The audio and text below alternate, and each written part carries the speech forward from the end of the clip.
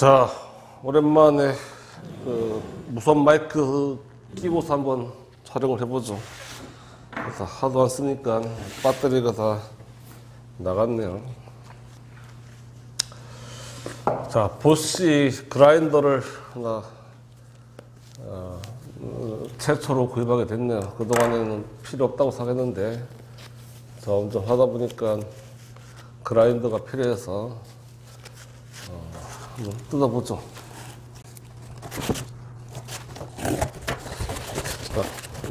날 보니까.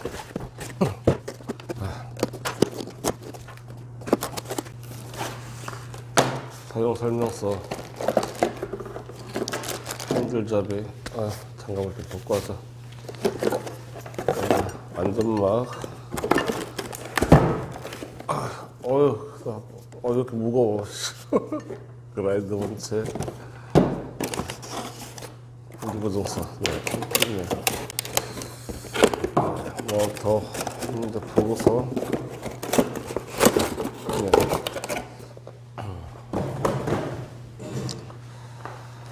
자, 남자는 사용 설명서 안 보죠.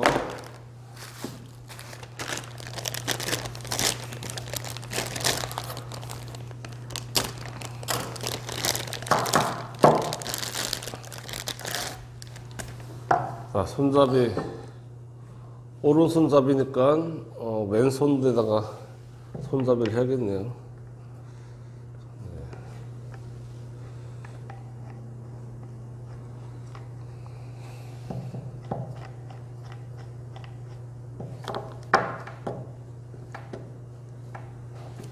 자, 하고 어, 요게 5인치 중에서 엑스락이라고 해서 원타치로 눌러서 아씨 어떻게 되는 거야? 락이 눌러서 아, 일단 요거부터 껴야죠. 요거를 껴서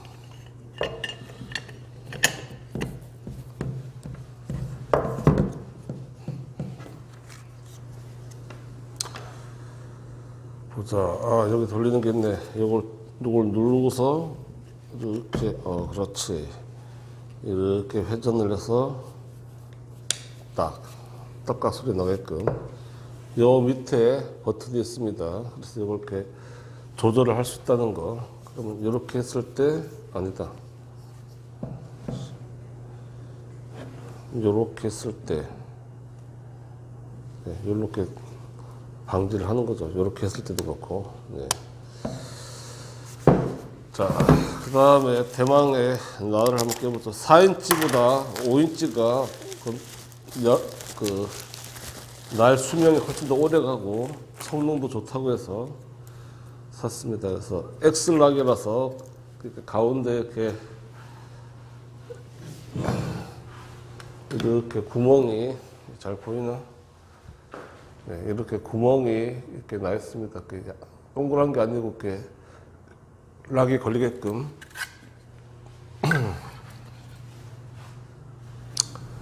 이렇게 해서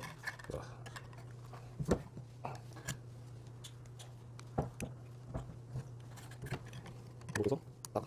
이렇게 해서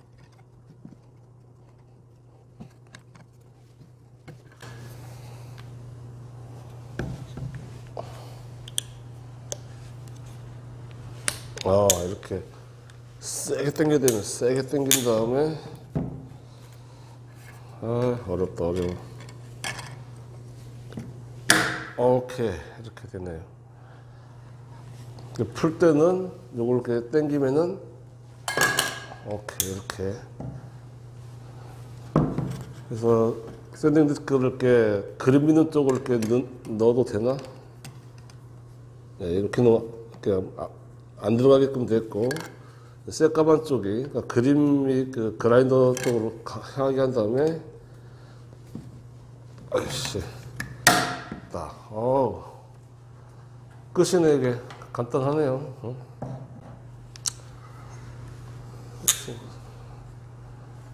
그래서 모양을 네. 보면은 이제 이렇게 두 개의 두 개의 그, 그 뭐라고 하지 그 기아가 딱 잡는 거죠. 그래서 딱 놓으면은 딱 풀리면서 어, 풀리면서 이렇게 튀어나오는 거죠. 여기다 샌딩 디스크를 한번 장착해 볼까요? 이렇게 넣어서 그냥 딱 치면 이렇게 딱딱 몰리게끔 아주 간단하게 됐습니다. 네. 그 뒤에 이제 속- 속도 조절을 하게끔 이게 또 가장 중요하죠. 6단계가 제일 세고 천천히 가를 때 칼을 연, 칼을 연마할 때나 이럴 때는 굳이 세게 RPM을 돌릴 필요가 없죠. 그래서 RPM이 2,500부터 한 11,000까지 예, 이렇게 되게 되었습니다. 자, 그라인더는 가장 위험한 전동 공구라고 하죠. 그래서 저도 처음 사용하기 때문에 장갑도 끼고 보안경도 쓰고서 아주 조심히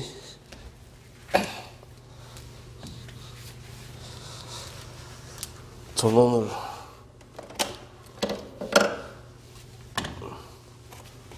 넣고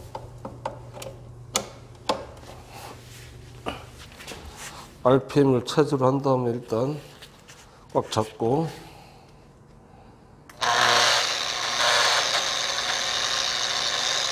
네. 이게 제일 좀 낮게 돌아가는 상태입니다.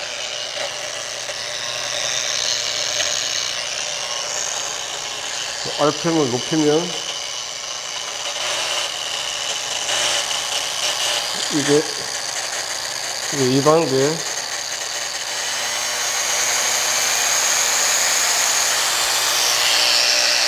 네, 3단계 어우 겁나네.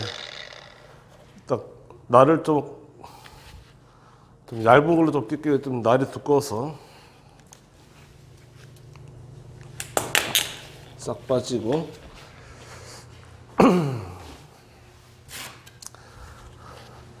네, 얇은 날 껴서.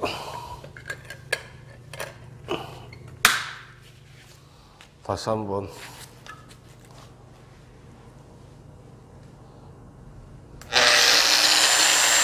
네, 이게 3단계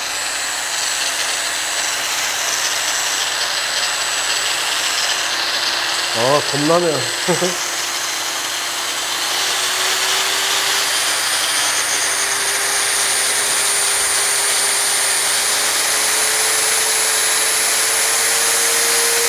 이게 4단계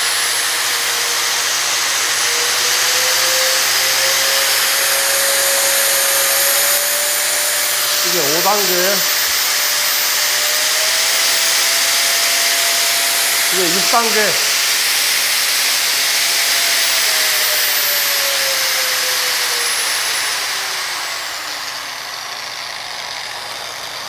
이게 벌써 1단계 야, 아, 겁나가지고 못하겠네. 시계 반대 방향으로 도네요. 이렇게 때는 시계 방향이고. 야, 이거. 아, 되게 겁나네, 이거. 야, 이거. 아, 이거, 심심풀이로 샀는데, 이거, 정말 그, full face 헬멧을 써야겠는데요. 하여튼 요 정도로 그 이렇게 또 sanding disc 이게 뭐뭐 그라인더 그 이거는 사포 60방짜리입니다. 네. 자 다시 한번 이제 최종적으로 어, 보쉬 어, 변속 가능한 그런 그라인더 5인치 요게 4인치가 아니고 5인치라는 거 그리고 이렇게 보시피 완타치로 일일이 이렇게 뭐 스패너 공구가 필요 없습니다. 이렇게 한 번에 끝난다는 거. 이거는 이거는 거꾸로 그림 있는 쪽에 이렇게 바깥으로 나오게끔 되는데 왜 이렇게 일반성이 없지? 거꾸로 해볼까요?